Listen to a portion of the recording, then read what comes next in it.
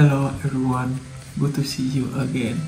You know, in Vietnam, people wake up very early, they get ready, then they will go out for breakfast before heading to school or going to work. There are many tasty food that Vietnamese people would like to have for their breakfast, such as cơm thấm, bánh mì, phở, and so on. Vietnamese broken rice is my favorite dish and you must give it a try.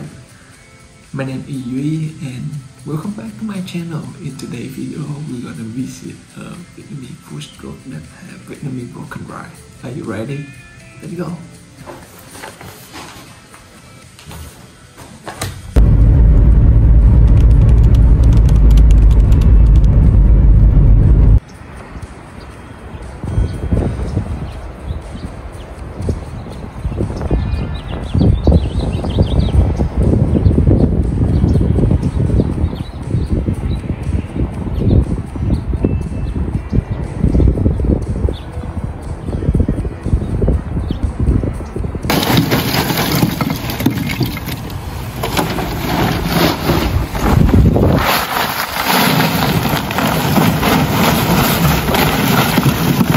Bao than vậy? Mình xài một ngày không?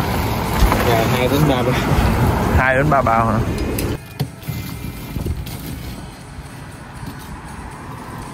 Cái đó là gì? Là cái nó như là bắt lửa vậy? Ờ bắt lửa hả? Bỏ một cục đó vô là tự bắt lửa luôn hả? Cái gì. Vậy thử cơm hả? Thái đem về nhà nó rửa rồi. Nãy qua ăn chưa tới? Này là nó cháy lâu. Cháy lâu hả không có nó giữ lửa nó cái than nó bắt vô. Cũng hay ha.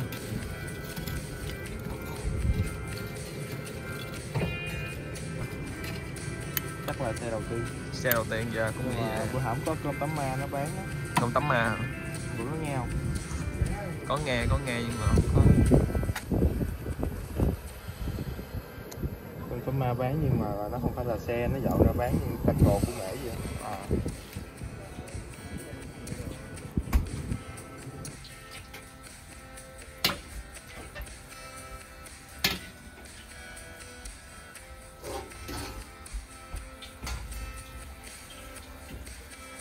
Nói đi lấy delay lâu nha.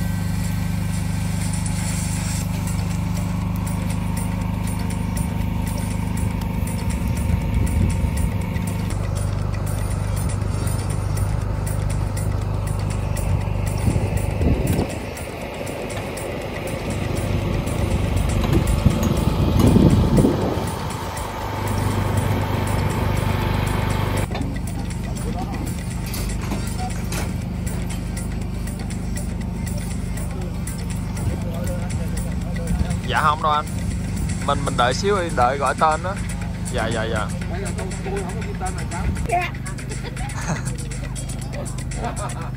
Mà sao mà sao chị biết cái cái cái chỗ luôn. nghe ta nói ta nghe hỏi. nghe ta nói hả? Ờ, nghe ta nói thử đi Michael Đào mà chị á bé đối diện với Michael Đào. Xong chị nói đối diện Michael Đào đâu có người nào. Đâu có ai có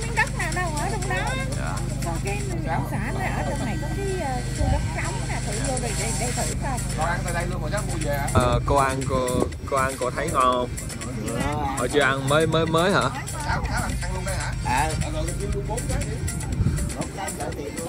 Đừng đừng hai